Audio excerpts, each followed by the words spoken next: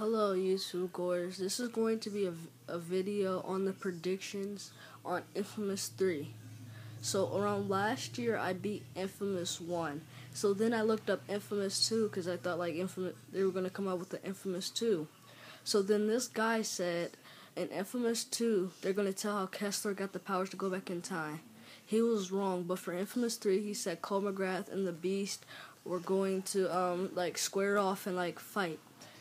But that's what happened in Infamous 2. So in Infamous 3, Kessler, no, they're, they're going to tell how Kessler got the powers to go back in time to, like, hunt Cole MacGrath and, like, make him angry and all that. So those are my predictions on Infamous 3.